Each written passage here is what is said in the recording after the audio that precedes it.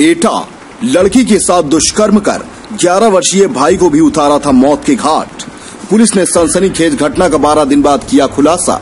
लड़की को घर में अकेला पाकर, लड़की को घर में अकेला पाकर, दो युवकों ने दुष्कर्म की घटना को दिया था अंजाम। 11 वर्षीय भाई के अचानक घर में पहुँच जाने पर दोनों आरोपियों ने दुष्कर्म की घटना छुपाने के लिए कर दी थी भाई की हत्या।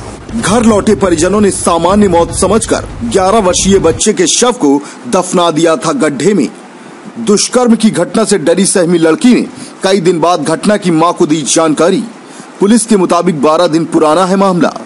पुलिस ने दुष्कर्म व हत्या का मुकदमा दर्ज कर दोनों आरोपी युवकों को किया गिरफ़्तार। मृतक की 12 दिन पूर्व हुई हत्या। आज पुलिस मृतक बच्चे का दफन किया शव गड्ढे से निकालकर पुलिस ने कराया पोस्टमार्टम। आनंद कुमार सिंह की रिपोर्ट।